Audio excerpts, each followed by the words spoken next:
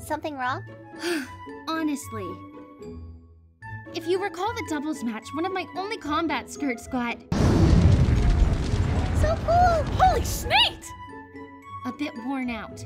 Naturally, I arranged to get a new one from home, but was sent Winter's military uniform instead.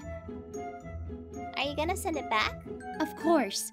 What else am I supposed to do with my sister's clothing? What a pain.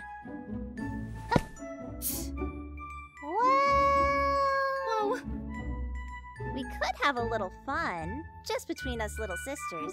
Ruby, please keep me out of your childish delusions.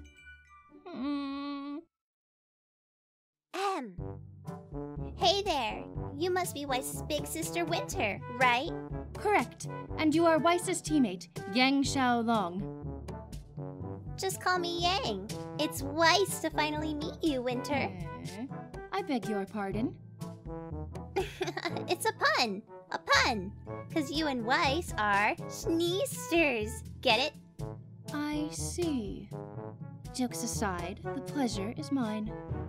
Hmm.